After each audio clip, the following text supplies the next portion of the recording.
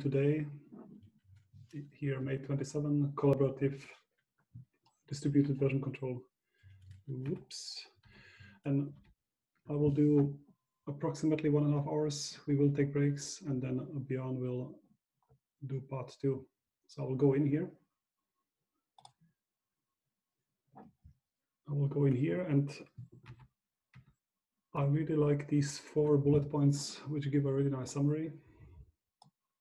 So if we look back at Monday and Tuesday, uh, everything that we have been doing, almost everything has been happening only on our laptops, only on the computers. Everything was locally. All the commits that we created, we created branches, we merged them, everything was local. Um, but now if I lose my computer, if I delete this .git folder, the history is gone.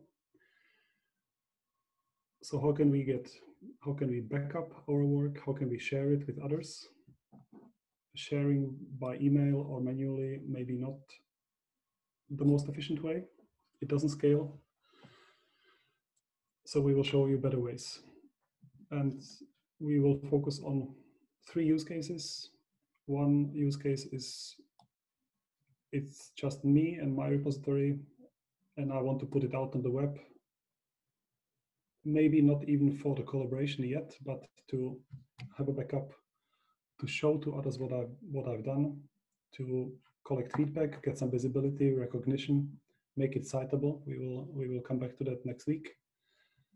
How to get a digital object identifier for our code. Use case two is uh, we are a small group and we work all together within the same repository, but we will use branches. But everybody can directly update the same repository. And I will discuss these two. And Björn will discuss the, the distributed version, where we will do some forking and there any anybody can suggest changes to a public repository even without advance permission and then we will uh, discuss how that looks from the contributor's point of view and from the maintainer's point of view we will exercise this using github but everything that we show really translates the same things you can do on gitlab the same things you can do on bitbucket. We we choose to present this on github because because it it is the most popular platform and we believe it's good if you it's very likely that you will be exposed to it even if you choose the other services which are equally fine. And my plan now is approximately like 15 20 minutes i will give a i will explain what is really going on when we when we clone and when we fork so here, this will be just listening and, and asking questions.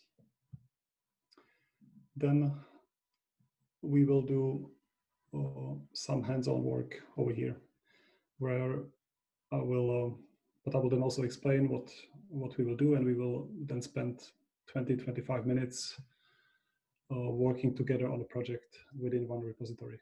But I will explain. So let me first go into episode one.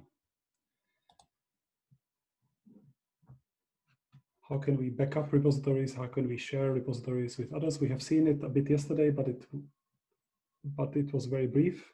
We didn't really explain what is happening when we when we clone and when we how can we synchronize repositories. And I will make that a bit larger here.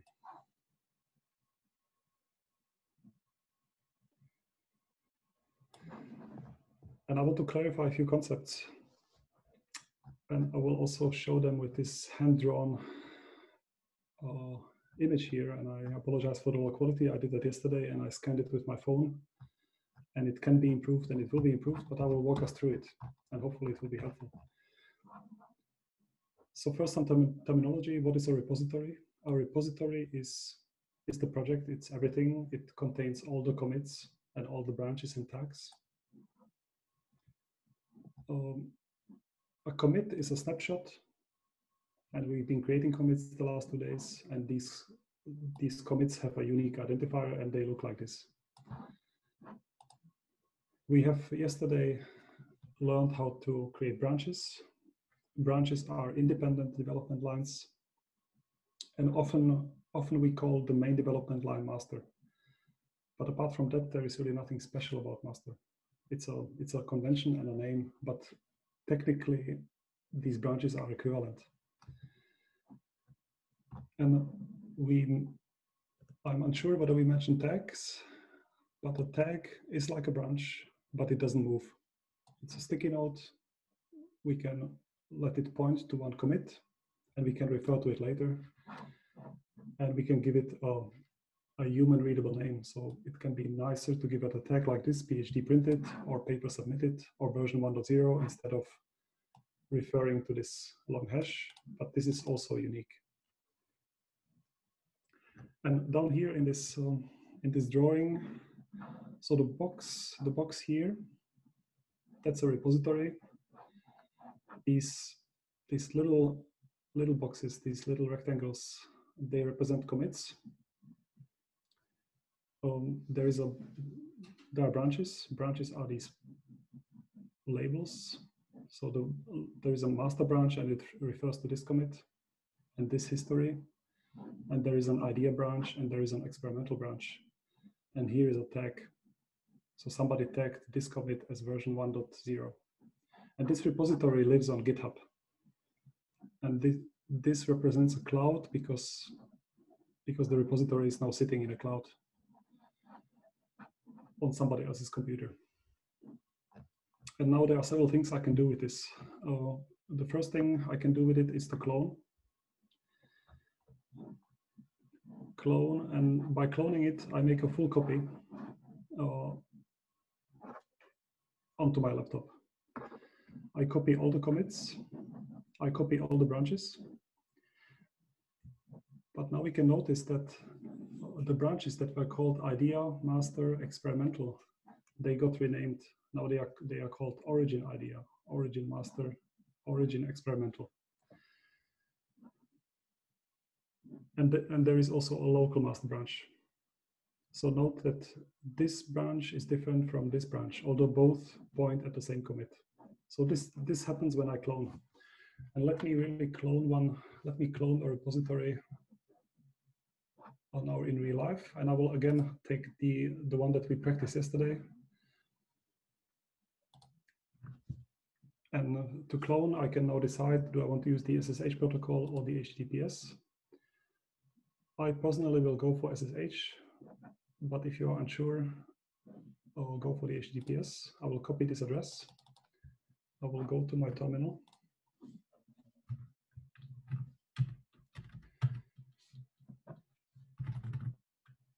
And I see I didn't adjust the, I need to show you also the history. I will adjust that in the in the next opportunity, in the next break. here I already have a directory called rvest. I will, I will move it so that I don't use the same name. And now I can do git clone and this address, and it will create a new folder called rvest. I can also give it a different name, different name if I want it. And now I will do what is on that picture. I'm copying everything, all the commits. I step in. Let's try git branch. And I only see master. And that is maybe a bit of a surprise because I would expect to see two branches. Here on the on the project there are two branches. One is called master, another one is called GH pages. So where is the other one? The other one is here, git branch all. Aha. So now I have a master branch. I have an origin master branch. I have an origin GH pages branch. Back to the script. So this is what I got. I cloned, I copied everything to my computer. That's one way of making a copy and now I can make some changes, but the changes will be only on my laptop. The other possibility to make a copy is to make a fork. And a fork will also copy everything, all the commits, all the branches, but the fork will live, it will stay in the cloud. So it's still in this GitHub cloud here, but it, I will copy it to my user space. And then I can make changes to it as well. So let me make, let me make a fork. And that is up here to the right. There is a little fork button. Fork. I fork it to my user space. And now the photocopier is running. It takes like a second or two. And now I have my copy. It's in the cloud, it's on GitHub, but something changed. I'll try to zoom in. It's now under my user space. And it remembers where it was forked from.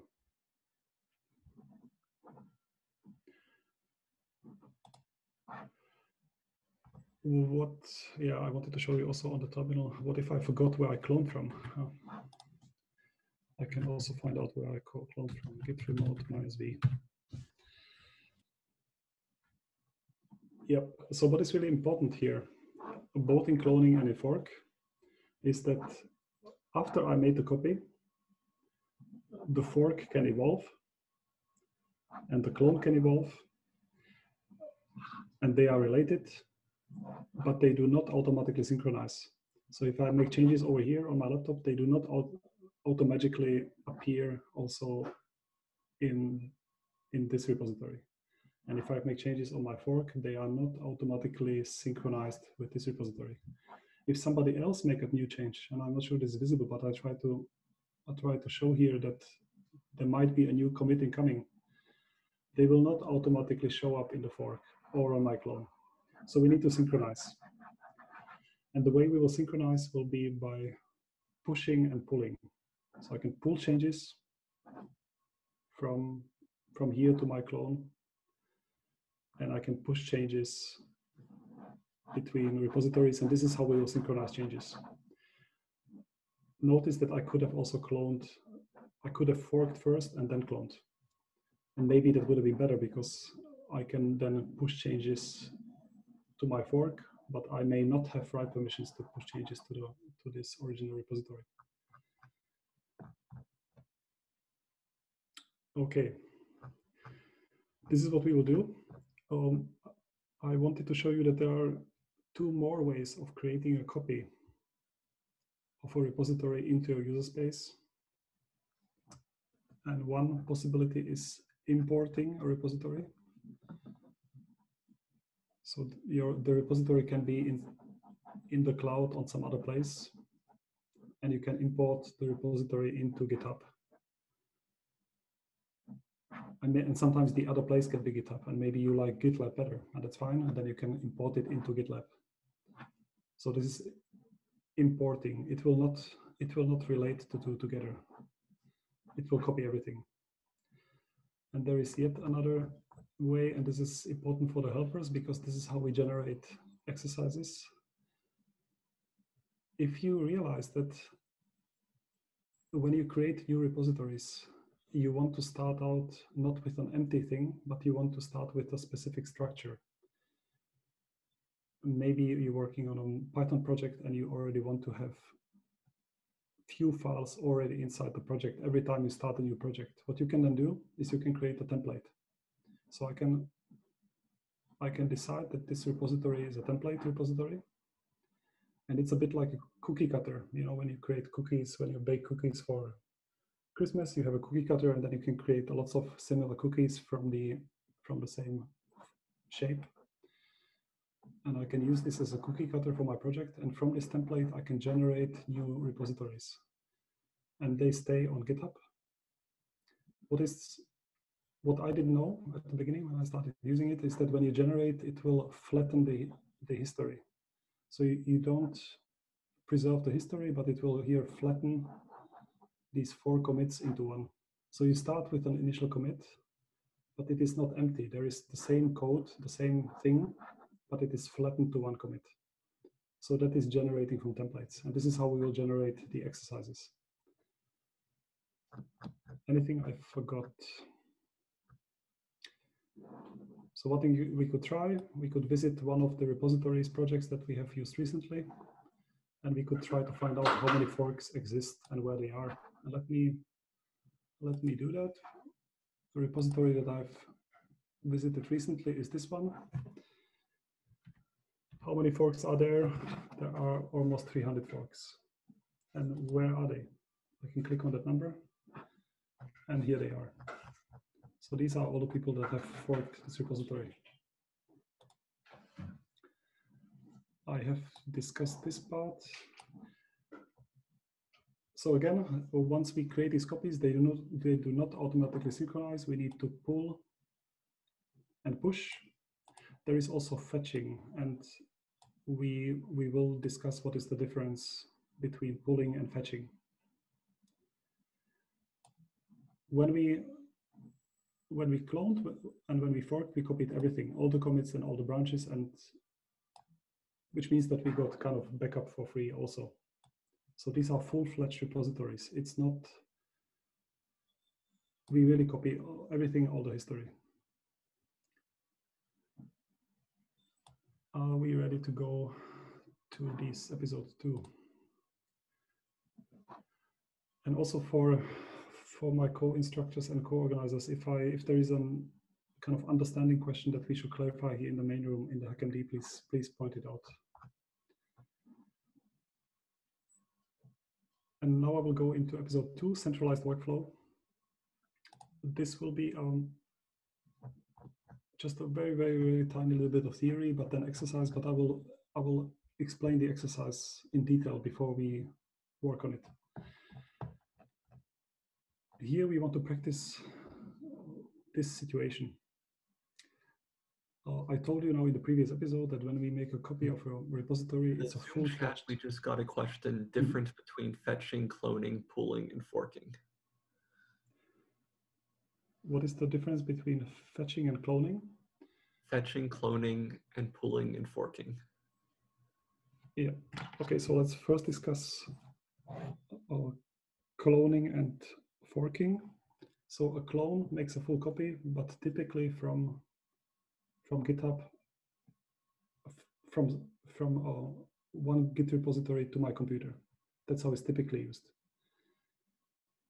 A fork is also a copy, but typically stays on in the cloud and it's from somebody else's user space into my user space. So that's the difference between clone and fork. Um, then there was a different, uh, what was pulling? Pulling is um, if I go, do I have a good picture? Pulling, I would use a pull when there was this new commit appearing here on, on the repository which I have cloned, but I don't have it on my computer yet. If I want to have this change, I need to pull the change. So that was pulling. And what was the last thing? There was one more term. Fet, what was it? Pulling? Fetching. Fetching, yes. Uh, fetching, I wonder whether we will discuss that. So what is um, fetching is I fetch all the commits that I don't have. So if I do a fetch here, I will fetch the commit over here. It will be in my Git repository but it will not update my local branch. My local branch will still point to my last commit. I can then, in a subsequent step, I can merge this change into my local branch. A, a pull, a, a pull is a fetch and merge. When I pull changes, I always fetch and I always merge. So git pull equals git fetch plus git merge. Uh, Radovan, mm -hmm. so when you when you uh, clone your repository, you only saw your master branch and some red branches that were in the remote. Yes. So at that point, you sort of uh, uh, had the fetch, but it uh, it didn't actually pull. Is it, did it? The the branch that was you only saw the master branch. Yeah. I'm not sure I understood really the question. Uh, so the difference between fetch and pull. Mm -hmm. Uh, so wa- was it uh, was it was that the reason that you only saw the master branch, not the other branch, when you did the clone? No, no, it was not. It would. The reason why I only saw the master branch is that after a clone, uh, the convention is that it will Git will check out for me a local branch that points to the default branch, which happens to be master. All the other ones, it renamed it renamed them to origin slash branch. So that was not about. I didn't so far. Then I didn't any. I didn't do any pull or fetch. Uh, I would see the difference if I if I clone and then I leave my repository there for two months and I come back to it, I would notice that in the meantime, this one has evolved because here the, the rvest developers have done a lot of work. And in the meantime, there will be new commits that I don't have. And now I have two choices to get them. So there will be new commits over here that I don't have locally. And option one would be I fetch them. Then I have them in my repository, they are there, but my local branches, they don't get modified. Only origin, they get updated. If I also want them to, these commits, if I want my local master branch to be updated as well, I would, I would have to pull. Hopefully that got a bit clearer. In practice, we, I think most of the time we only git pull. But it's good to know that if you if you are unsure what you are pulling and you first want to have a look at the commits locally before it modifies your local branch. So if you are very careful, you can first fetch, you can have a look at these commits, and then you can merge in a second step. But in practice, we will probably only pull and we will not fetch.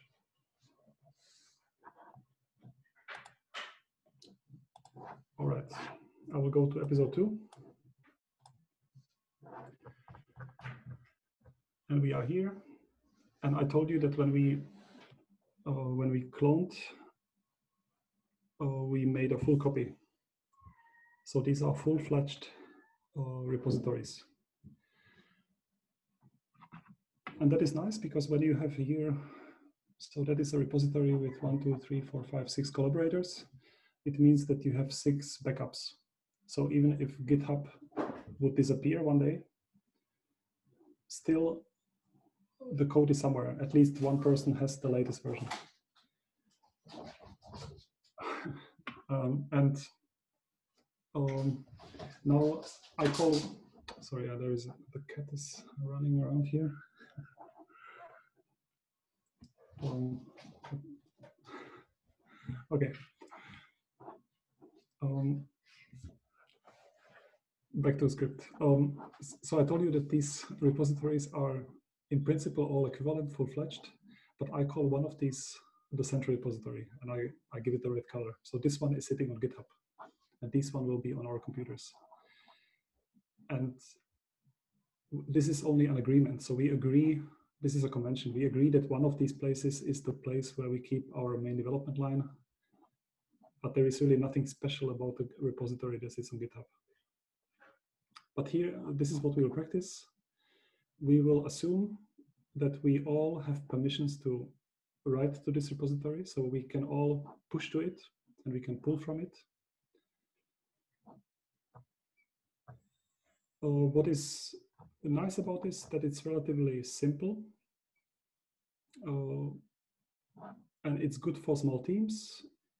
Maybe the small disadvantage is that everybody who wants to make changes to this repository will have to have write permissions. But in the in the second part of today's lesson, we will uh, we will learn how can we can suggest changes to a repository where we do not have write permissions. This is also this this is what we use for lesson development mostly. And we will practice this. I will now walk you through through this exercise so that you know what to expect. And in this exercise, we will um, we will use an exercise repository and what the so every group in your breakout room will have one administrator. It it will probably be the helper. It doesn't have to be the helper, but one person who is more comfortable with GitHub will be the administrator. And you will create an exercise repository from this template. And if you go to this template, you will see that there is a green button, use this template. And then you can generate an exercise from it. And this is this cookie, cookie cutter. And then in the HackMD, you can then create a section like this. You can say that we are group 13. And the administrator, it's you will need to exchange GitHub usernames. So the administrator can put in the URL of the of the exercise. So it will it will be done in your user space so that everybody in the group knows where is this repository. And the uh, everybody in the group also needs to communicate their GitHub usernames to the administrator because the administrator needs to add you as collaborator so that you have so that you can push to these push to this repository. So this will be a preparation, and we can communicate through uh, through the HackMD. And don't worry, after the exercise, we will again we will not publish these. We will remove these usernames. Then after after you you have exchanged this information and after the administrator has created this repository, you can you can decide to to watch it or unwatch the repository. So by default, you will watch it, which means that now you are a collaborator. Every time there is a new issue and a new pull request, and I will show what it is, you will get notified by email. And you can choose to you can choose to unwatch, and you can do that over here. So up here, and I can choose, do I want to watch, watch this repository or unwatch? So if you don't want to get these emails, you can click to unwatch. But we recommend it can be fun to watch some of the repositories that some of the projects that you are maybe using because you can it's fun to watch the developers how how do they communicate how do they contribute. We can learn a lot from it. So it can be can be useful. Then each of you in the group within the group you will clone the repository git clone the address this part will be different because this part will be, it will be this place here. And you will clone it to your computer. And then you will see that suddenly there is, you will see there is only one commit and there is only a master branch. And you will see that on your local computer, you, there will be origin master and there will be master.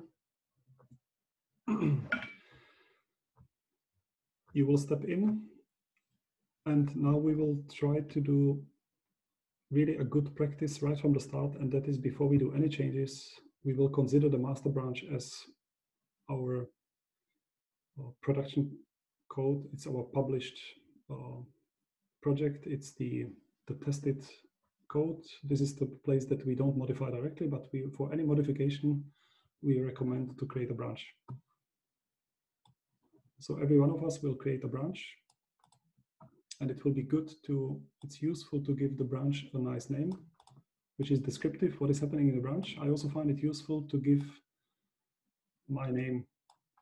So Git, I like to call my branches Radovan slash something I'm working on, because then everybody knows who is who is behind that work. If I want to find my branches, I can find them by the name. And also everybody knows what is happening inside. Uh, the goal of this exercise will be you will create a file and we want the file name to be unique because we want to avoid conflicts now, not to make it too complicated. Because if we take the same file name later on, we will probably experience a conflict, which is not a problem, but we don't want to have too many things now at the same time. So I recommend to have a unique file name. One way to have a unique file name is to take your username.txt and inside you can share um, you know, your favorite cooking recipe or a haiku or a Git trick. or something. Note that what we will do here will temporarily appear on the public web because we will contribute to a repository that is public. Later we can delete it again, but so we should not share something really weird, but um, I would say some cooking recipe or a Git trick, something short. Then you will commit the change. Notice that the commit only will only be on your computer so far. So there is a new commit here and your branch has to move forward. Nothing happened with origin master. Nothing, you will see that nothing happened yet on GitHub. So GitHub doesn't know about your change.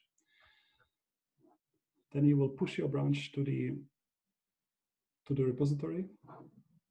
And the command is git push, where do I want to push to? I want to push to origin. What was origin again? uh, that is the place where we cloned from. And if I don't remember anymore, where did I clone from? It was git remote minus v. And we can later discuss what this minus u means. You can also leave it out, it will still work. Then after you have pushed, browsed the network of branches and commits, what was that again? That was on insights, insights network. So have a look at have a look at this, still loading. Verify whether your branch shows up here in the network. Then submit a pull request. A pull request is like a change proposal. And in there, um, in the group, discuss what are the things that you look at when you create a pull request. And after you create a pull request, maybe you can switch the screen share and you can then review the pull request. So a pull request is a change proposal towards the master branch. We will send it towards the master branch. And there you can have a discussion. What are the things that we look at when we review? And later, when we come back from the exercise, I will also discuss these things. So even if not everything is clear and discussed in the in the group, we will, I will show some of the things that I look at when I submit a pull request and when I review a pull request. And this is really code review. And later we will come back to this and discuss also protected branches. And after, after your change shows up, uh, so after you push, it's on GitHub. After your pull request is merged, there will be a new merge commit on master and then there will be changes of all the other people in the same group. So in the last step, you will update your local copy. You want to make sure that all the changes from all your group members are also on your local, on your local repository. And then we will come back. We will discuss a bit more. There are some optional steps that you if you have time, you can discuss them. You can then later try what happens if we are all working on the same branch. And you will experience these kind of messages and you can discuss what they mean. And I'm sure some of you have seen them already. You can also, what you can try is how do I make a change to a remote branch, which is not master, but some other branch? And how, how can I create a, a, a new branch on GitHub? and there are some more resources that we can later discuss. First, I would like to ask, because I have here instructor bias, um, what did I miss on the practical side for the exercises? So my goal is that you will have 20 minutes to work. We will come back and then we will take a break. So we will not mix the, the, the group work with the break and then we will I will also show this here in the main room and I will then discuss some of the some of the features. Any burning question on HackMD or anything practical I missed? So Radovan, did we uh, did we mention that uh, when you're cloning, we, we, we don't clone the template. The, so we have links to our template uh, repository and we have a repository that we should be cloning. Yeah, that is a very good point. So the administrators, So only one person per group will deal with the template. And if don't hesitate to ask questions if this, this is the first time that you see this. Everybody else, so once the exercise is created, it will have an address here, administrator's username. And then please, for the group, put this address over here. And everybody else in the group, they will clone this repository. And everybody will be able to clone it, but before you can push to it, the administrator needs to make you collaborator. And for the collaborator, once you get added as a collaborator, I think we write it somewhere here. Um, yeah, the once you get added as a collaborator, GitHub sends you an invitation email that you need to accept. So only after you accept the invitation, you are really a collaborator. Okay, hopefully it's, we know what to do. We would, uh, we would be back. I will check how it's going, but either 10 past the hour or 15 past the hour. Uh, and we will then take a break and summarize. And I will now, I will now uh, generate this exercise from the template in MySpace.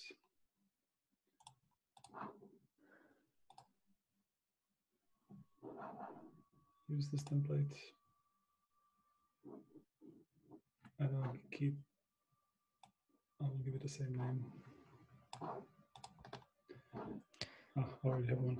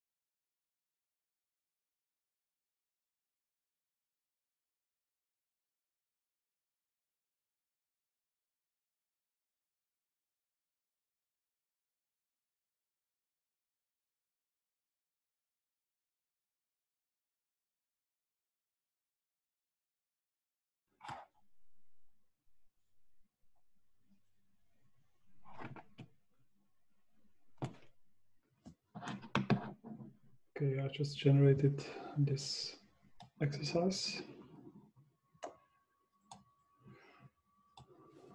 And I will arrange my windows so that it doesn't interfere too much.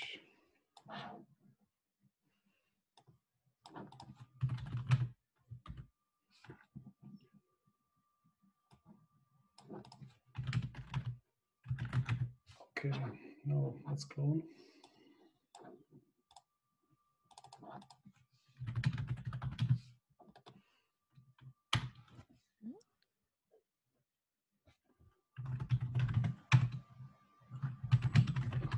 Where did I clone from?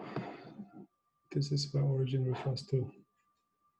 And I can I can use both interchangeably. So whenever I will later write origin, I can also use this address instead.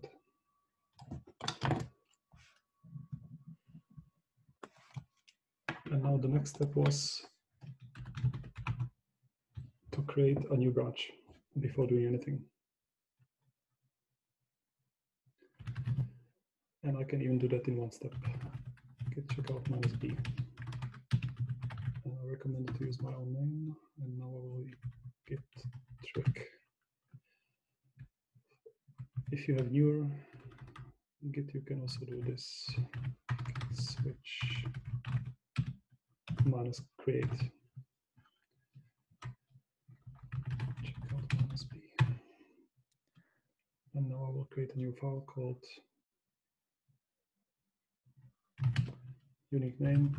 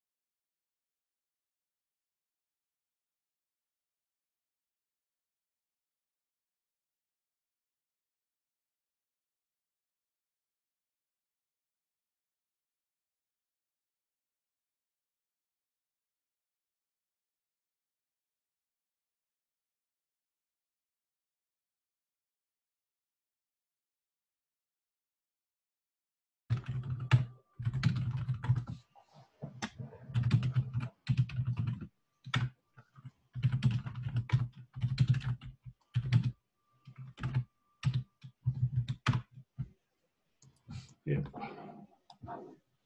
So I'm sharing here a trick.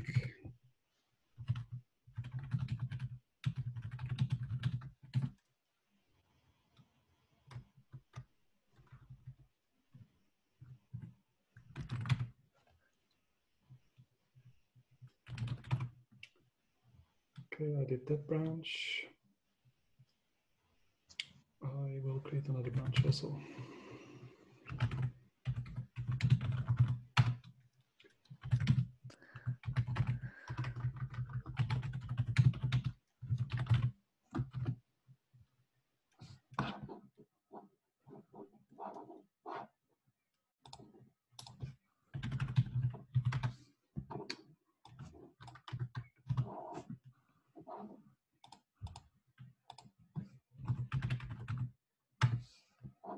Some cooking recipe.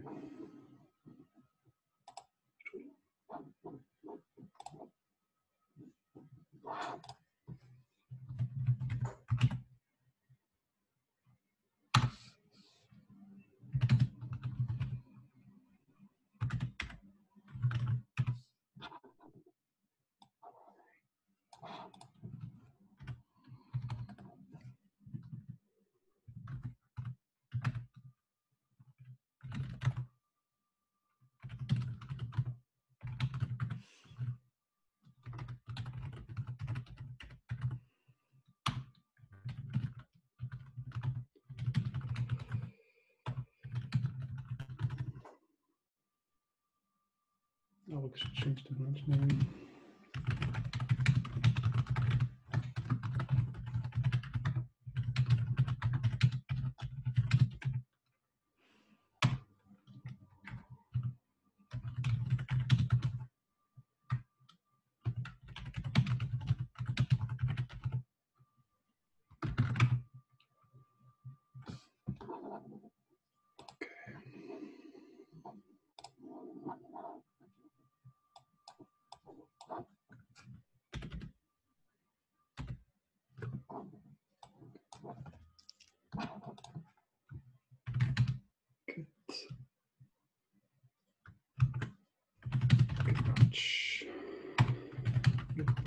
origin.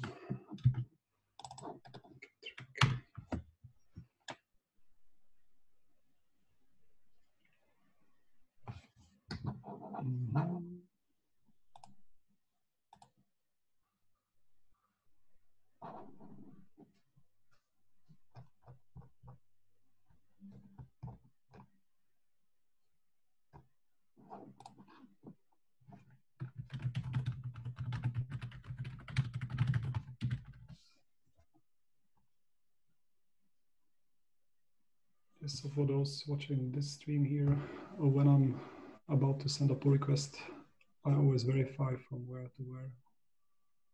It's going from this branch to master. This is what I wanted. Title, more description in here. Here I can refer to maybe a discussion we had on an issue. I can refer to that issue. I also always browse what commits I'm about to send and what is the change.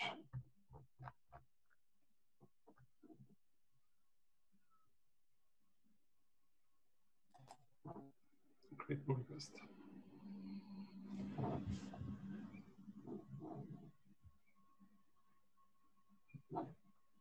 And I will review it then when we come back from the group work.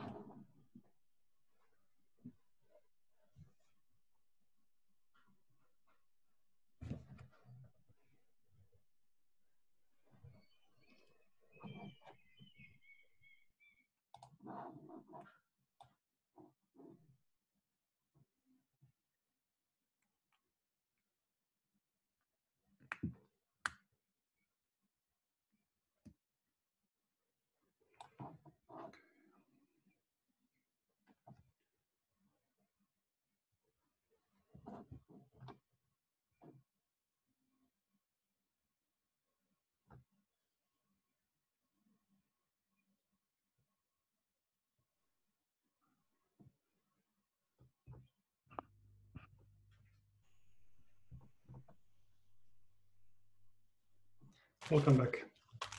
Um, I wanted to show you some of these steps on, on this exercise repository myself, but I also heard that there were questions. Maybe Sabri, you wanted to, should we Uh, take them now uh, or later?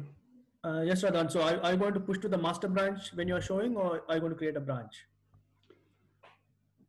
I wanted to uh, create a branch and follow the example, but I can also show what happens if several people push on a master. Okay, so the so the exact question is like different people create uh, different files with different names. Yep. So why why can't Git figure out how to join them? Like you know, the of course the hash is different, but can't Git know that because the file name is different? If you combine those automatically, uh, there won't be a conflict. Right? Do you understand my question? Mhm. So why why is the push rejected? Rejected, although although they use different names, like the file names were different, so it was not one file people changing. Yeah. Yeah. Yeah, maybe I can answer that now. So that when we do a git push, uh, Git will compare the the hash on the remote repository and the hash on the my local repository. It will not really look at files. It will look at these hashes, at the checksums, and it will verify the hash that on that is on the remote repository. Do I have it locally? If yes, then I'm allowed to push. If not, I'm not allowed to push because there is there is something in the history of the remote repository that I don't have locally. And that's it. It doesn't really look at files, which means that it, this doesn't mean that there, there is a conflict because that, that, that is a second step to check. But the first step is to check uh, are our histories relate, I mean, do I, does my local repository contain all the history? And if not, it aborts. It could be a bit less conservative.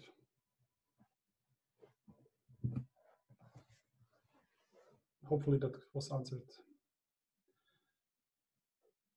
So this, this, uh, some of you who try to do that, to push to the same branch, got this warning. It's a good thing. It's really a good warning because it, uh, this warning over here, because it doesn't, it makes sure that I'm not overwriting other people's work. Uh, but it it could be that the it's on a different file, um, but Git doesn't check that. And then uh, the the way to recover from this would be to first update my local changes with a git pull or fetch before pushing again. So I would like to now summarize a bit and I will go through these steps and show you some of the things that I look at. And I think as a bonus, what we can also try is that we together fix this problem that uh, this text here was outdated. So we could we could discuss how we how would we fix this, and we can try to fix it together. So this will be something I think really useful. But first, I created myself this exercise repository, and I generated it from from this template. And locally, I created a branch with a git trick, and I created a branch with some recipe. And one of the two I have already pushed. Uh, let's go to the insights and network. So I have already pushed this git trick. I have not created yet a, a pull request. No, I did. I have created a pull request. I have created a pull request. We will review it in a moment, but I wanted to show you, I will create another one just for those of you who missed it so that we can go, we can see how that works together. And I will do that from this, this recipe. So I have another branch. This branch only exists on my computer. I haven't pushed it yet. Git status, git log. This is an apple strudel recipe. I would like to share it with others. Uh, okay, maybe difficult to read. git log. What I can see from this git log, or maybe let's use git graph. Clear git graph. What I can maybe see here is that this branch is not on the remote repository. On the remote repository, there is there are these two branches and this one. How do I push it? I need to, first of all, if I don't remember anymore, where do I where did I clone from? Git remote minus v.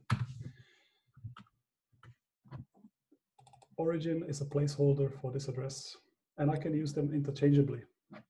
So to publish this branch, I can use git push origin and this branch name. Equally fine would be, instead of origin, I can also use this address directly. It's the same effect. So they are interchangeable. Where do I want to push to, to origin? What do I want to push to branch name? Now my branch will appear here. I will reload the browser. There is my new branch. I didn't create the pull request yet, the change proposal. There are several ways to do that. One way is I can be I can visit this link here. That's one way. But what if I already lost that? I already my terminal is cleared. I don't see that anymore. The other way is to go to the project and now Git realized, GitHub realized that I have pushed recently a branch. So maybe I want to create a pull request from it. And even if I miss this part, there is yet another way to do that. And that is, I can go on the branches. There is my new branch and I can create it from here also. So many ways to create a pull request. All of these bring me to this form. So this is a change proposal. The first thing that I look at, I normally verify from which branch to which branch. Is this what I wanted? It also verifies that it can merge. There are no conflicts. I can give it a title, and here I can give more context. I can refer to a discussion that we had uh, to some issue. Before I click on the button, the other things that I normally verify is I verify the commits here I'm sending one commit. Could be many. If I see commits here that I didn't intend to send, then I abort, maybe I made a mistake. I also normally scroll down and I verify the, the diff. Is this really what I wanted to send? Yes. Here I have several options. I can create a draft pull request. This can be really interesting to or share something that is half finished. Then others can look at it and I can collect feedback. This can be very useful. In this case, I think this is a finished product. I create a pull request. And now I have two pull requests. And now I can imagine that I'm a different person because what we want is that we don't want the person who submits to be also the person who to reviews. So this should be some other person in the group reviewing the changes. And I can tell you what I'm looking at when I'm reviewing a change. And notice that these changes are not on the master branch yet. They are still, they are still, uh, nothing has been merged to master. This will only happen after I accept these pull requests. So now I'm a different person. I look at the title. Here, maybe some more description. I often look at the first thing I look at what has changed. And I can comment here. So if I have suggestions or questions, I can comment directly here. We can also have a conversation over here. So I can ask questions. Suggestion. And we can have a conversation. And then I can ask for improvements. And one way to apply improvements is if you push changes to the same branch, then they and then they get appended to the to the pull request. And once I'm happy, once we are all, ha all happy, we can merge it. And only now it will be part of the master branch. The change is merged let's see the network. Sorry, insights. One of the two is already merged. And now I have the option to delete the branch and the only thing I will delete is this label. It will not remove the commit. So let's delete the branch. Now I muted myself accidentally. Um, and now reload again. The commit is still there, the branch is gone. And now I could re review also the recipe. Code review is not only about quality. So what are the things that one could look at as well? We could set up automated testing. We will do that later. I could look at the code that is now going in. Is it also documented? But it's also about learning. So now when another person reviews my change, at least two people know about this change. So it's a, it's a nice way of learning from each other. The reviewer can learn from the submitter. The submitter can learn from the reviewer. And also in this case, I will merge the change. And now both of these, both of these are now on the master branch. So here was the trick and here is this recipe. But although this got merged on, uh, on GitHub locally, so locally I don't, if I git checkout master, if I have a look at my master branch locally, these changes are not there. So just because something changed on GitHub, it did not automatically synchronize. And now to update my local master branch, I need to do the opposite of pull, of push. I do git pull where from, from origin, which branch, the master branch. And the git pull command will modify my current branch, which happens to be master. So here I'm merging changes from the remote master to my local master. And if I now do git log one line, I see these changes.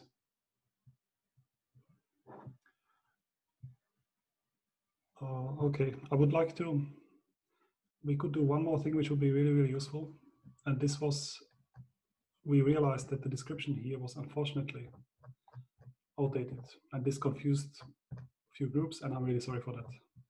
And, and this is what happens when you track change track a text in two places because we had the description in two places and what happened is what always happens. It it diverges. You change it in one place and you forget that there is a second place.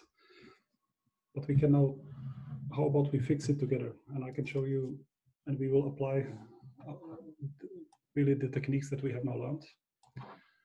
And i want to fix it in the template directly so I will, I will go to the template. This is the template repository. It's the only thing that makes it a template is because on settings, I check this check mark. This makes it a template. You cannot see the settings here because you are not, in this case, you are not a collaborator. You are not an admin. You are not an owner. But I'm an administrator of this repository. But now I know about this problem the first thing I will do, which is a really good thing to do, is I will open an issue so that I can inform the community that I know about the problem. Later, I will also fix it, but maybe I have no time to fix it. Or maybe I don't know how to fix it, but maybe somebody else does. So I will inform the community, I will open an issue and describe the problem. And for this, I will make that, I will minify this, make it a bit larger. So an issue has also a title, the description here in the README is outdated. Uh, is outdated. I can give more description in here. I submit the issue. At least now others have the chance to know that I know about the problem. Notice that the issue has a number. It has the number four, and I will take a note of that because I will refer to that number. And now let's fix it together. And how will I fix that? I will clone this repository. Clone it. And this is what we did with the exercise. Just rearrange windows. Back to the terminal. I uh, clone that address. Anybody can clone it because it's public, but not everybody can push to it, but I can because I'm a collaborator. And I'm not on master, but I will not modify master. I will create a new branch. Git checkout minus B. And I will call it my name and fix readme. I created the branch, I switched to it, and now I want to fix the problem. And I think what will be a good thing to do instead of all the text here, which can be outdated, let's refer to, let's avoid this problem in future and we will refer to exercise description and let's refer to the one that we have over here, which was the plan.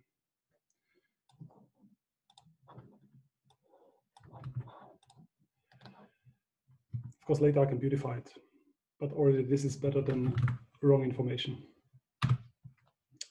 Git status, git diff. What did I change? I removed a lot and I added something. Git add the readme. Git status. Git status. And now let me commit that. And in the commit message, I will say that uh, refer to exercise description. But what I will also do, I will say that this problem closes the issue number four. And that will be interesting. So in my commit message, I refer to the issue number four. Git log one line. Oh, ah, let's do git graph. So I have this new branch with this new commit. I will push it. How was that again? Git push origin branch name. Here we go. And now for a change, I can visit that link.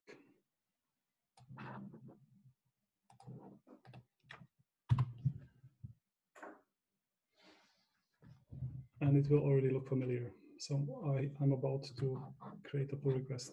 Again, I verify from where to where, title. Let's scroll down and see what we did. Yep, that makes sense. And notice something will, interesting will happen. I will open the pull request. And now GitHub understood this message because now it can cross-reference the commit message with the issue. And if you go to the issue, you will also see that the issue gets cross-referenced. This was the problem, but and the problem is not solved yet. Uh, but at least in the issue, see that somebody did something and references this issue. Radovan, Yes. there's a request to go slower. Mhm. Yeah, I, I realize that this is really fast. Um, if this cross-referencing, we will do in the follow-up exercise. So Bjorn will, we will do that again and a bit more slower. So this was very fast here with cross-referencing issues, but we will come back to that today and we will come back to that next week when we talk about testing also. I think the take home here is not how I did it. It's more that yes, you can cross-reference commits and pull requests and issues, and it can be useful. And now when I accept it, I can now again imagine that I'm somebody else who reviews it and agrees with these changes. I will merge it. And now that the changes got merged, the issue will get automatically closed. And the good thing about that is that we have a well-defined lifetime for the problem. If later I want to know from when till when did the problem exist, it existed from six minutes ago up to this commit. And now we also did something useful, so at least for the next workshops, they will not run into the same problem. This was very fast. Before I hand over, any questions that we should discuss in together? Anything that stood out in the HackMD? So where do you find the standard methodology so that GitHub recognizes it, like closes and stuff? Yeah, uh, I I normally search for GitHub auto close issues. GitLab can do it too, and you can close issues using keywords, and GitHub understands these ones: close, closes, fix, fixes, fix, resolves, and then you can refer to the number, and it will if you forget to put that into the commit message, it's not a problem. You can put that into the pull request description or title, and it will also be understood.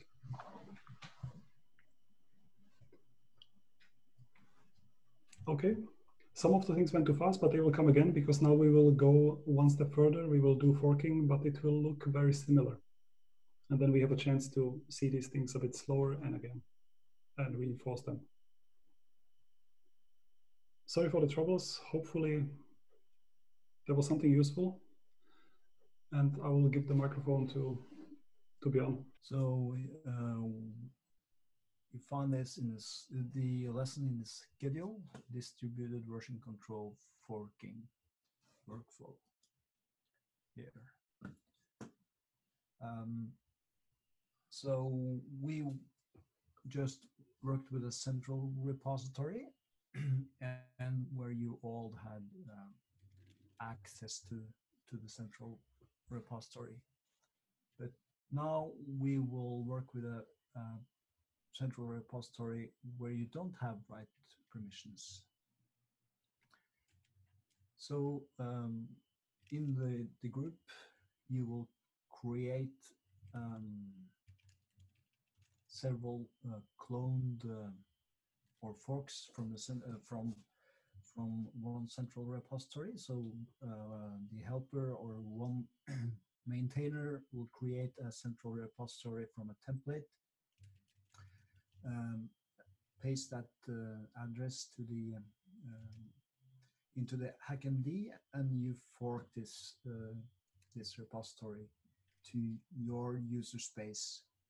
And then from that fork, you will clone it to your local computer where you do, will do some uh, modification.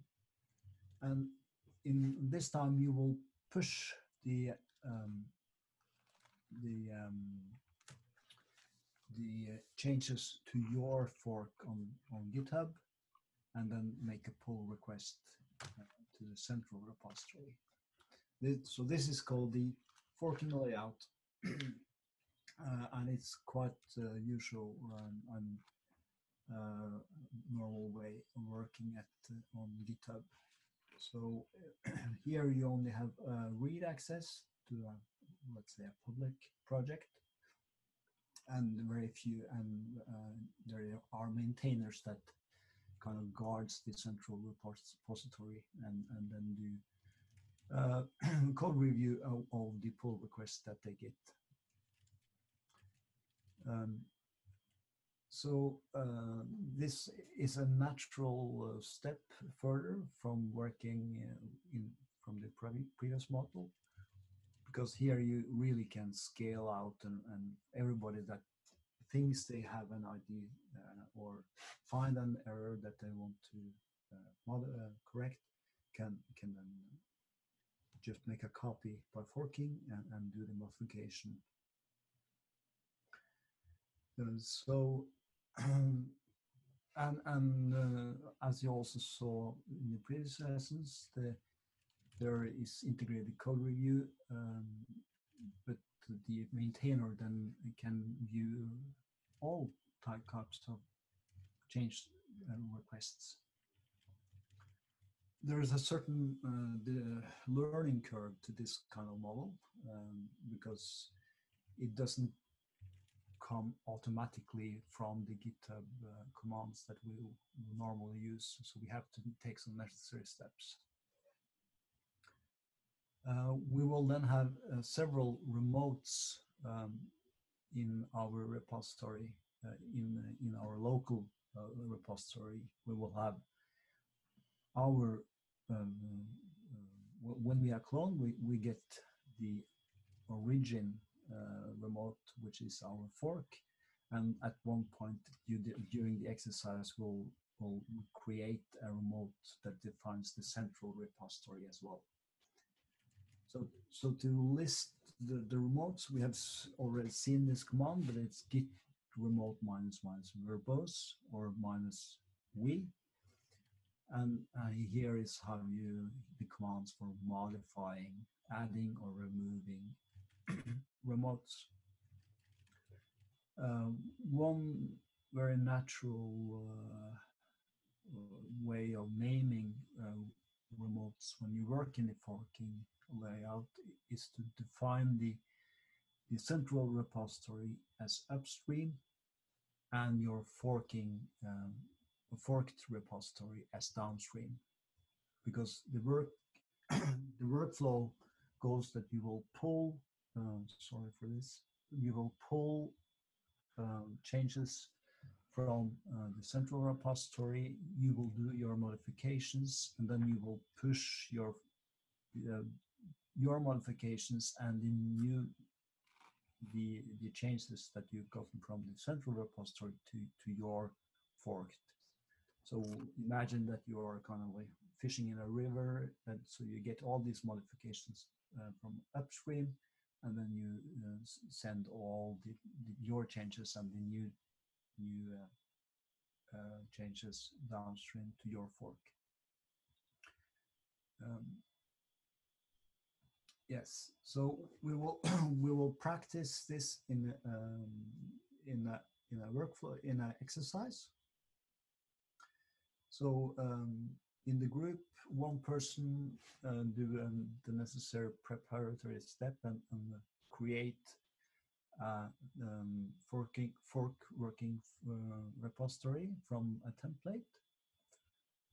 Um, and you write the uh, the address of this newly created repository in the shared document. So the others in the group then fork the helpers or the uh, maintainers newly created repository. Uh, and you all, and the group members clone the fork and, and uh, the maintainer can also clone his or hers uh, repository and you start them to work locally on your computer. So what what you will have then uh, is first you will in in the cloud or at the GitHub service, you have a copy uh, on the uh, central uh, repository in your fork.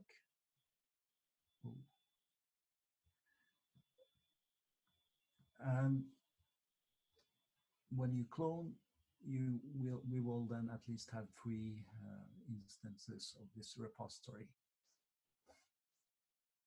You also open open an uh, issue uh, in the central repository. And uh, as Radovan did uh, when updating the README, uh, you note the uh, the issue number and you can then use closes or fixes or resolved in your commit message in, or in the um, pull request later on. Uh, you then create a new branch. Here was, we see the local uh, repository starts to deviate from the fork and the central. To create a branch, uh, you add a recipe for taco or something else, and you push then the changes to the fork, and now the the um, fork will um, be uh, a copy of your local. And you also get use git graph uh, frequently, so you see the updated tags in your in your local repository as well. So then you file a pull request, uh, and uh, and uh, the next step, uh, the maintainer can share uh, their screen during the F here to to accept the different pull requests, and and you then update your uh, after the pull requests are accepted, uh, and you can and, and you do this together as uh, in a share screen, so you can see the pull requests. Uh, and after this is done, you update your local remote. You you add the the upstream uh, as a remote, and and you fetch the the changes, and you will then be as in a situation where you have all the changes from the central uh, repository locally, but your fork is out of date. So you will need to push those changes to uh, your fork. So you, you your all repositories are in sync again. So I'll give you 30 minutes 30 minutes for this or 25 minutes for this uh, this exercise so we reconvene at 11:30 Central European time that's 12:30 Finnish time and for those of you who are watching this on Twitch they can go uh, uh, to the repository mentioned on the part A here a here. Um, for the ones of you who follow the main run, first fork the repository. Um, if you click on this, you will come to the CodeRefinery forking workflow exercise. And here you push fork and you Oh. fork it to your uh, to your uh, namespace like this.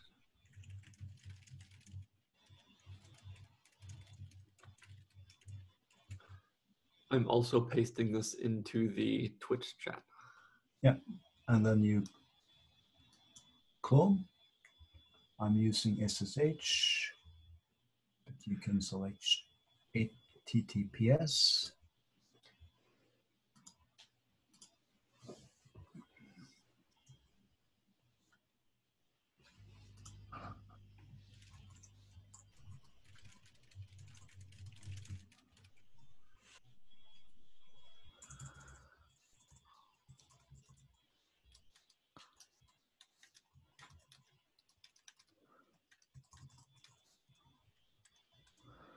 So I'm gonna clone.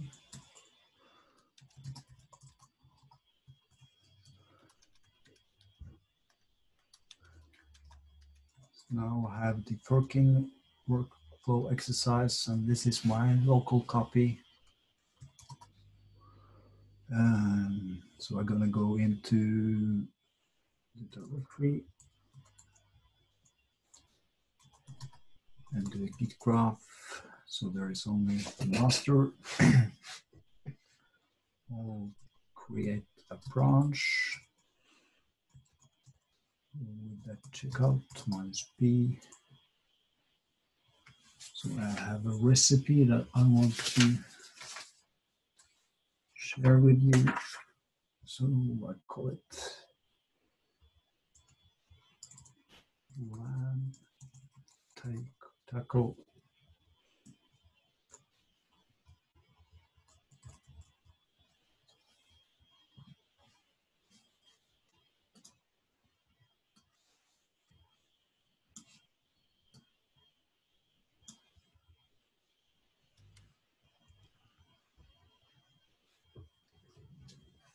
So nano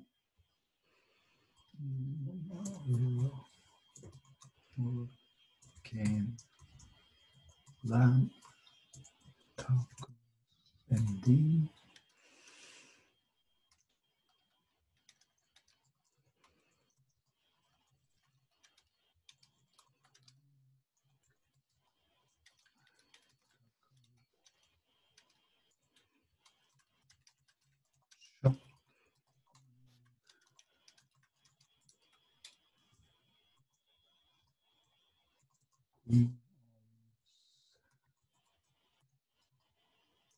golden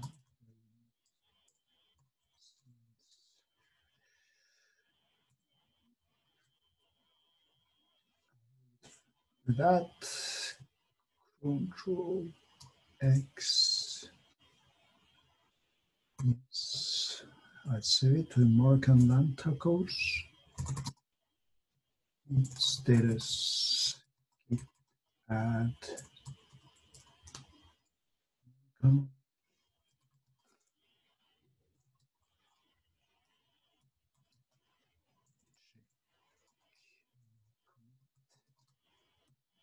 Send.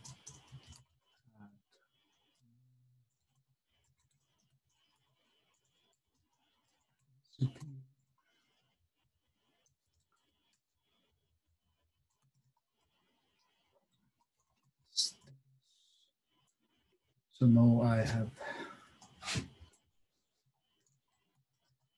did my recipe locally. So I push origin. Um, standing in lamb taco, so this branch will be pushed to to origin.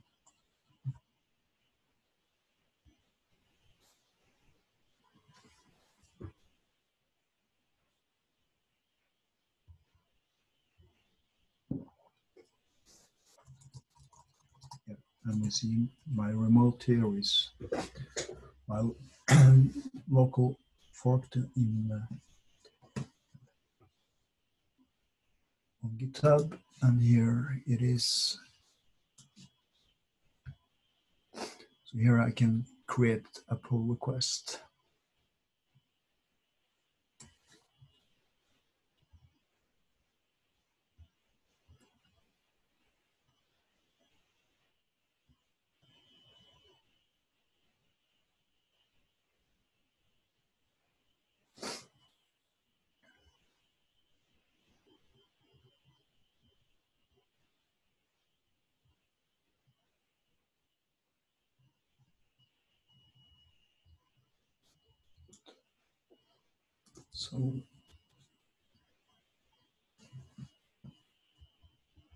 But I forgot to create a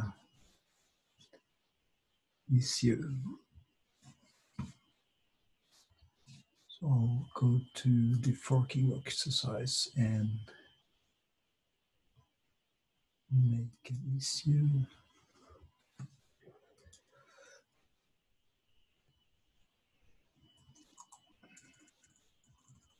New issue.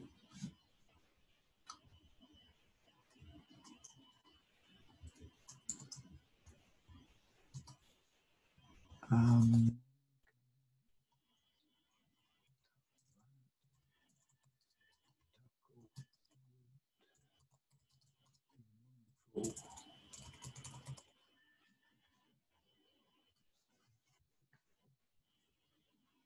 so got, then got an issue number one. So now I'll go back to my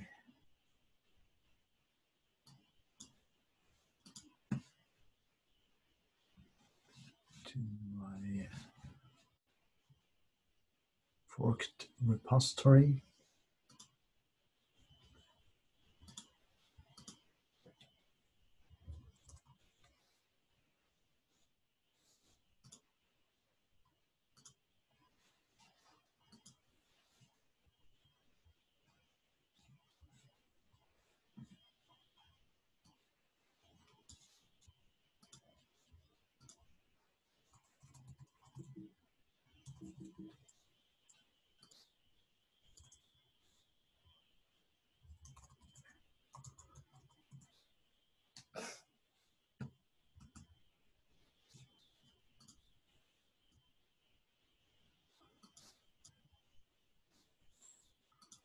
fork working exercise and now I'll compare and add uh,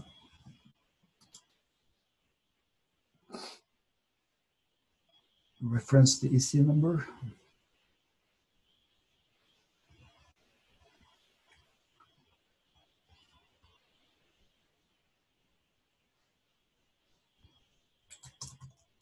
here is new recipe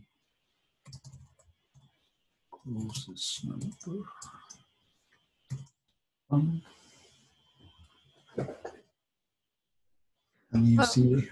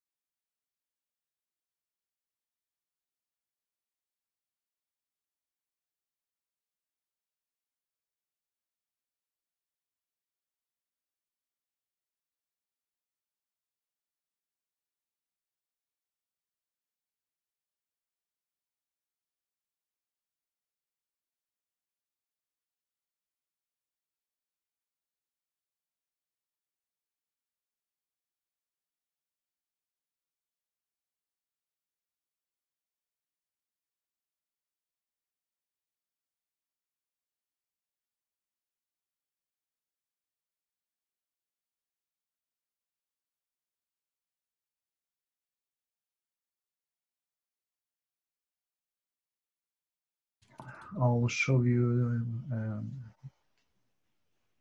from from uh, step E and onwards here at least. So um, I have made two recipes um, and I made um, pull request of the first one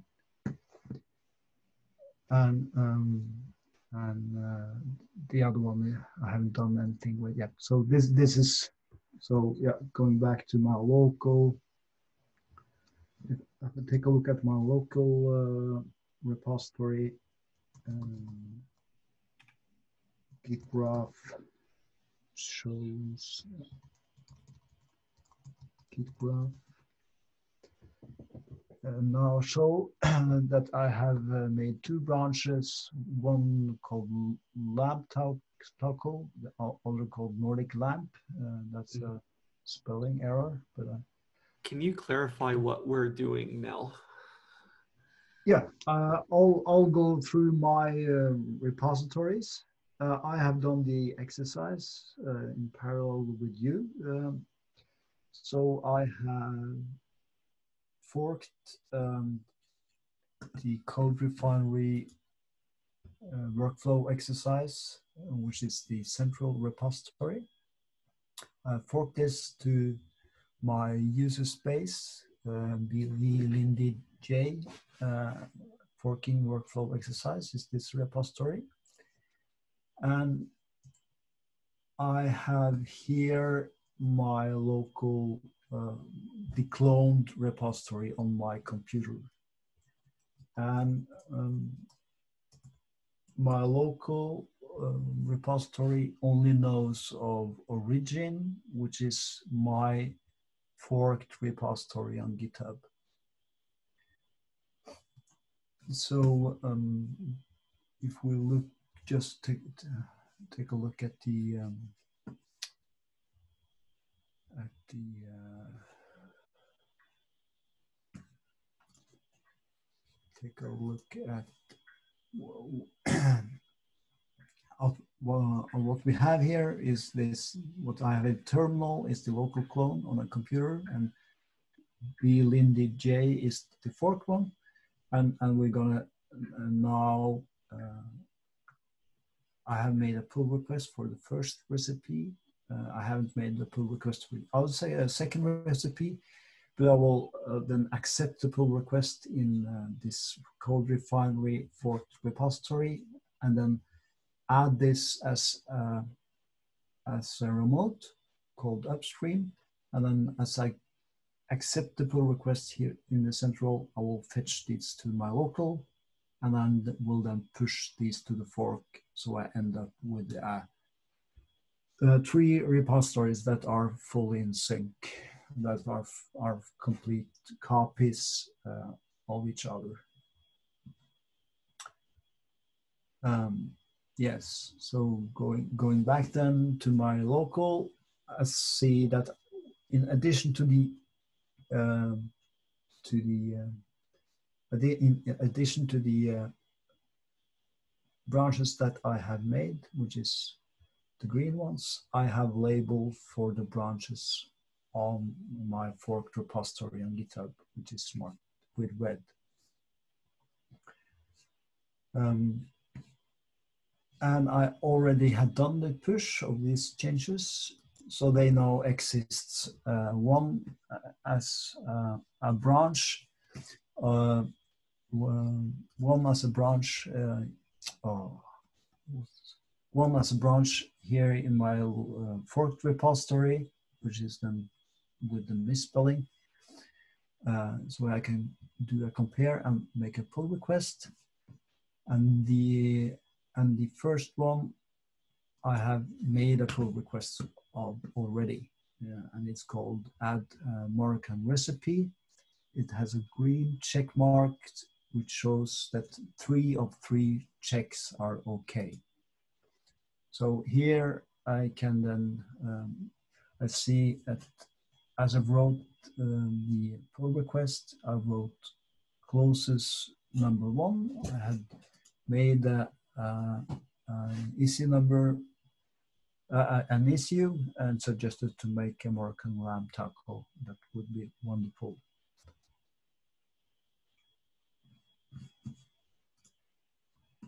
So um, I also see that all checks have passed. So we'll do this next week where we will uh, create automated tests that, that can be a part of the, uh, the accepting the pull request and it's run on different systems. Um, yes, and I can view what I have suggested. So here's my recipe. So I'll merge this, confirm. So this, and then I can delete the branch as well. Um, so going back to my to my fork repository, I'll do the uh, compare, uh, do the creation of the pull request just so we can see how the test test is run. So I'll just keep the title, um, create a pull request, and we see, that there is um, no conflicts. And here you see the tests uh, are running. So this is yellow because they're pending, they're ongoing, and will be green once they're complete. Uh, if there was a failed check, uh, then it will would have been red, um, and yeah. So I'll, I'll merge this pull request as well.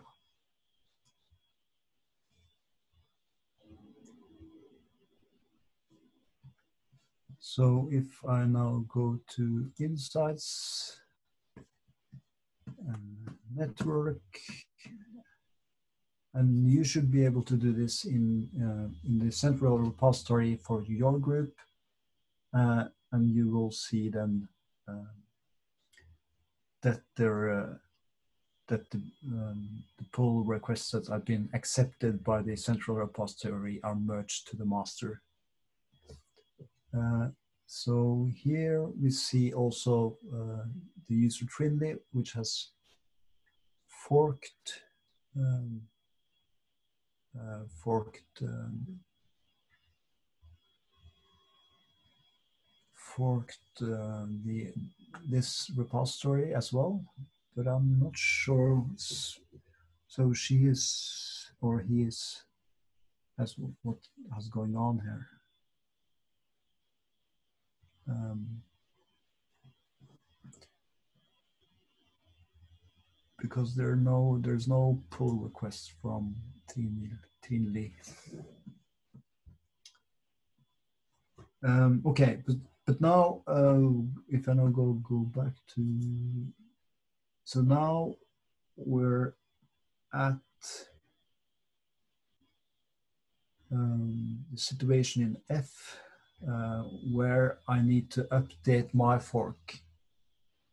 Um, so the the situation now is that my changes from the local from the local uh, um, uh, my change uh, um, my changes are being accepted so that accepted so they are merged and both my local and fork uh, are now out of date because we don't have this merge uh, commit uh, which is in the central. So I then need to to define um, this uh, remote as an upstream and fetch from the upstream. In in uh, your case, in in the groups, you need to change this to the central uh, repository in your group. So there's a typically the helper's username in, on GitHub is used there. Uh, but I have used the CodeRefinery one, so I can just add this. Uh, git remote add upstream. And if you see now, git remote minus v have two have two um, uh, remotes. And git graph so this is what I have, and then I will do git fetch. Uh, Bjorn, someone says your terminal is not visible. Are you sharing the right window? Oh, uh, yeah, just a moment. Stop share.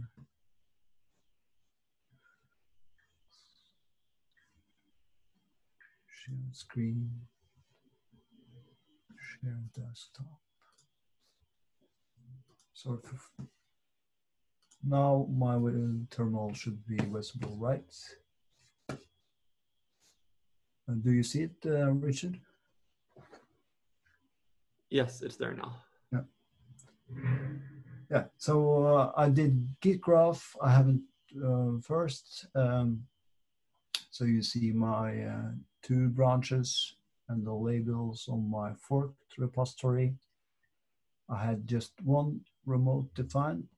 Then I div- added the git remote, the, the, the upstream remote, git remote add upstream. And you see I now have a new upstream defined. Uh, I haven't fetched anything, so my local repository are uh, unchanged based on the remote commands. But I'll do git fetch now. Fetch uh, upstream.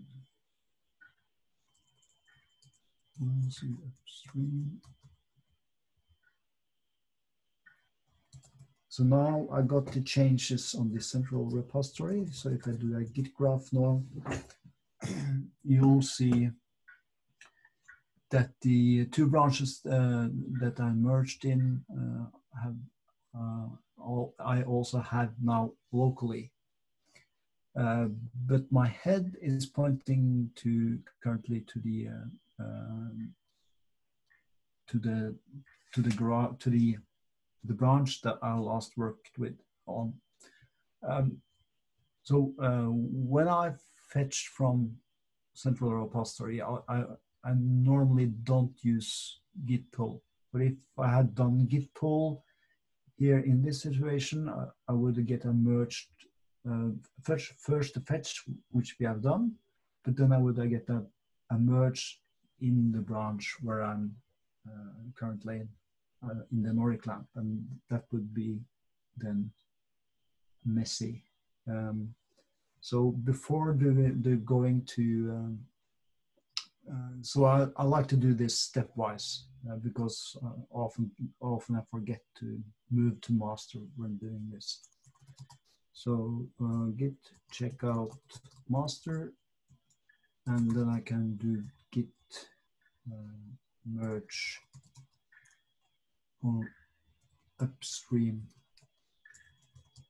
uh, master to get in sync with uh, with um, with what was on the central repository.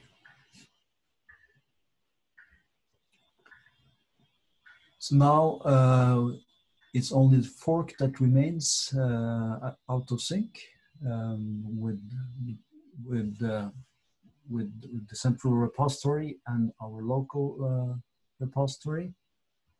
Um, so I'll um, push these changes to to to what's defined as origin git push origin uh, master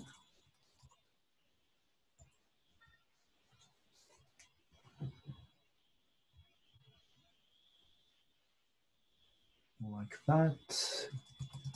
Git graph git uh, um, the repository. It's it's not uh, it's unchanged when it comes to content but it gotten extra labels. So so now we see that um, my local head uh, um, uh, is pointing to master and upstream master is equal with origin master and and uh, so so our uh, repository uh, are now um, equal. So if I go to to my local repository I should see everything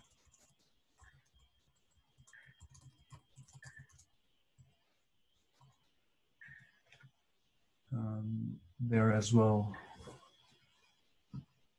I have um, I have added the the uh, recipes for the Mauritanian and Nordic, Nordic lamp, uh, and there is five commits. Um, the Nordic lamp is the only branch in addition. Um, if I look at the tags, no, nothing.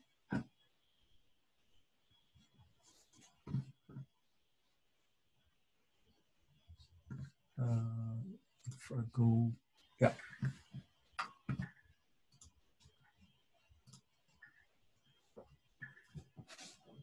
So uh, I took the long route here. Uh, as I said, there's a faster way to do by doing this with git pull and git push, uh, but I don't normally use git pull. either.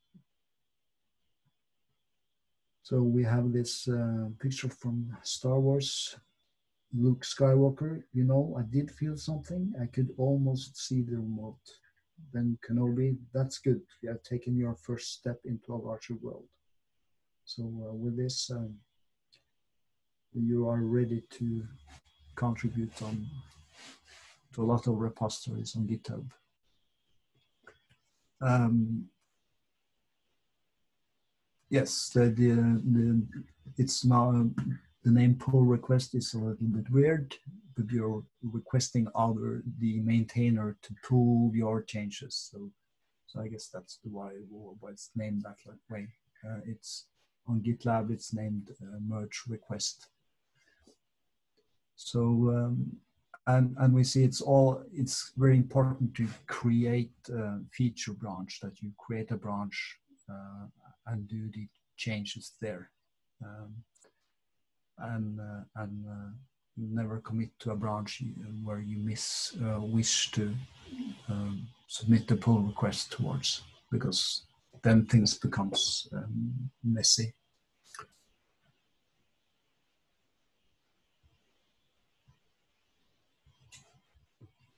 Um, yeah, partly seeing how you can apply code review. Um, and and here with the, the code review, you, ideas can easily get shared, uh, not only within the project but also from from uh, people outside the project.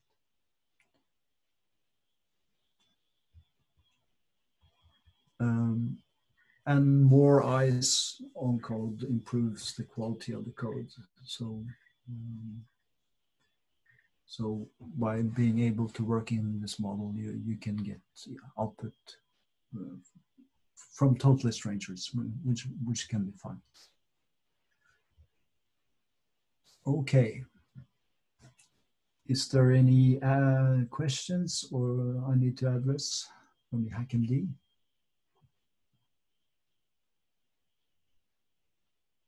So I can ask a question.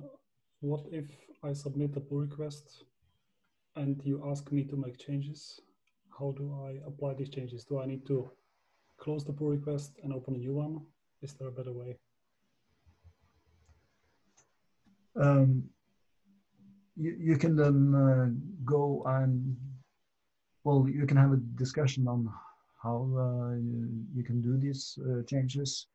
And then you can uh, continue on your on the branch you have locally and do the changes there push them uh, and these will be become uh, part of uh, the pull request that you ori originally made um, so and this, this is also the um, the um,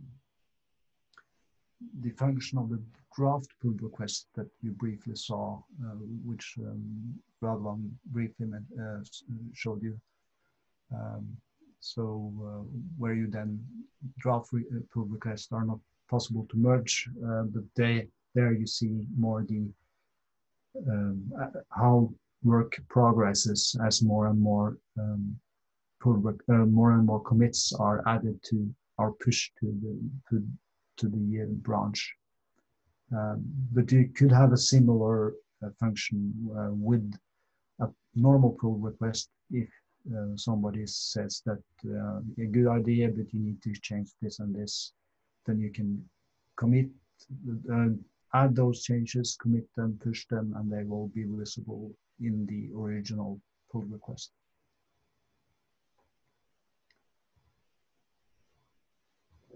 Okay, then we'll go on to the final final lesson.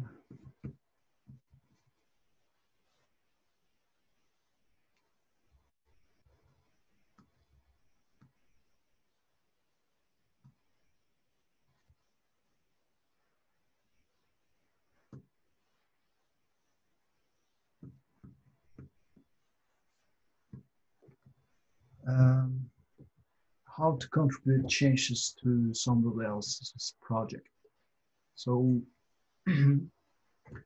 so now you have watched the CodeRefinery, and you maybe you find out that you you will contribute. So, if the uh, if you find very minor changes, spelling errors like that, you can fork the repository and then create a branch and and uh, push the change and file a pull request like you already did. Um, if there are more a major uh, issue that you want to fix, um, then you open the issue in the uh, repository that you wish to contribute to. You describe the problem, and we saw uh, Radovan do this uh, with the README. Uh, and in this way, you inform others that you, there is a problem, uh, and and it also comes um, make it clear whether the issue is up for grabs or there is somebody working on it.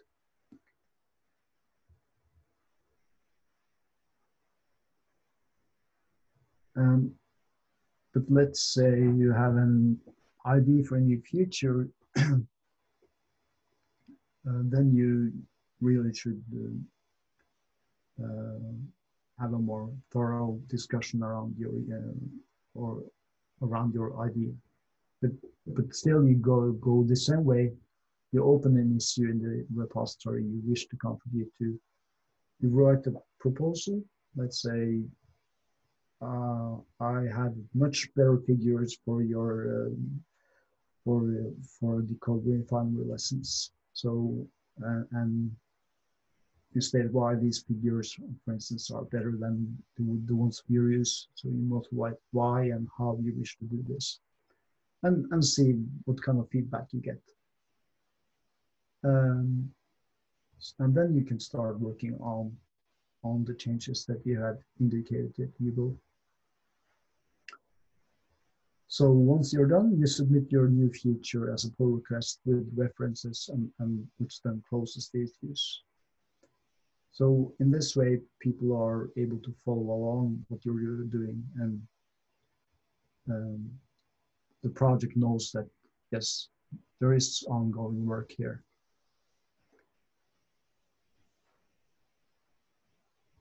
And um, but let's say that you want to develop a lesson for for some something that we don't cover, like uh, regular expressions, for instance. We have discussed that. So uh, in the project, giving lessons for regular expressions, but we haven't done it yet. But you see this as missing.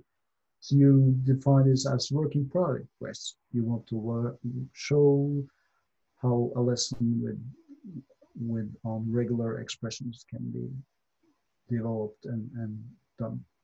So you then make it, you can make a draft uh, pull request and um, or you could um, make a pull request and mark it as WIP, work in progress. And then you people are able to uh, discuss this uh, and give you feedback on on the work as it progresses. So um, here again, you write a proposal for your suggested change, and you motivate why and how you wish to do this, and and collect the feedback. So so uh, in these different ways, you so these are ways to contribute to projects that, that are more and more kind of engaging in in a way. Um, yes. And, and, uh, and working with this, uh, the models, just, uh, at least the forking model, uh, uh, as you just have done, it's very easy to to suggest changes, and, and those are very welcome. Mostly in, in, in repositories that are on GitHub. Okay, that was the final lesson for this today and, and, and for this week. So I guess we can wrap up if there are any questions. There one, one question. Um, if I have a project and somebody is somebody has forked my project and they are working on it, can I see what they are doing? Is there a notificate way of notifying that somebody else is working on something? Uh, yeah, yeah, in parallel with your project, so you kind of want to watch the fork. Yes. Um, so the the specificity specific question is if somebody has uh, committed something to a fork will that be visible to me on GitHub?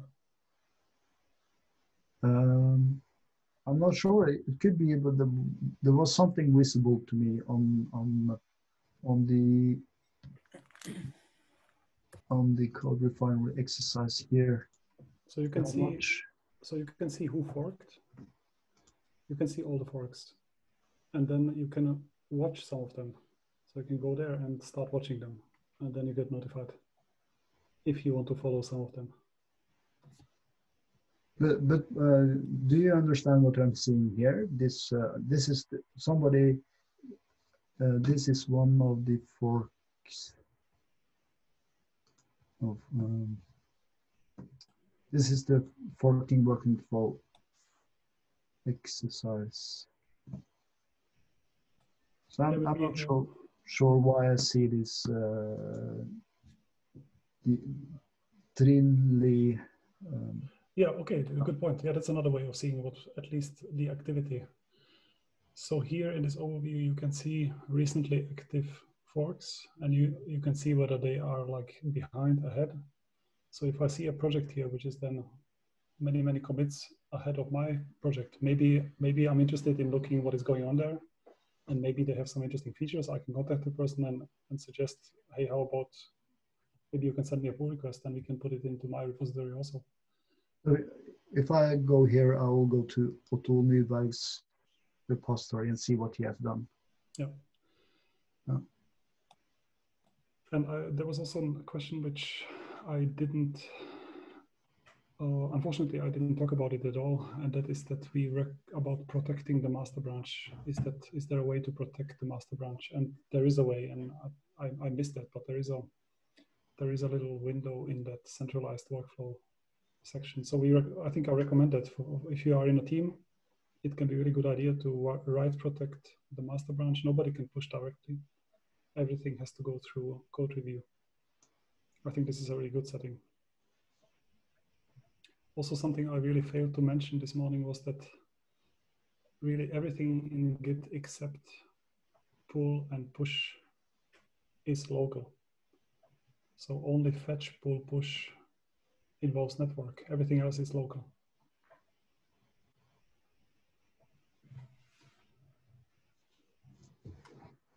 Any other important question we should raise in the main room?